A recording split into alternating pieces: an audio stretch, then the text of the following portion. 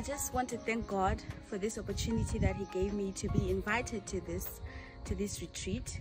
I've been here for this whole week in this Young Life camp and it has been absolutely amazing.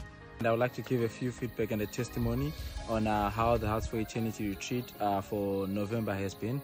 I have never heard God so clearly in my life. Uh, in my quiet time, I realized that uh, God was talking to me. He told me that He loves me so much, He will never forsake me. When I received the news, I was like, this is the most exciting thing that has happened to me all year. And I was so excited even before I came.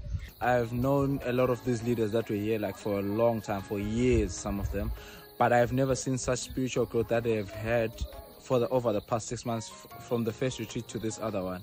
Every person that has stood in front of us and and shared a lesson with us, it has impacted me in a way that I will never forget.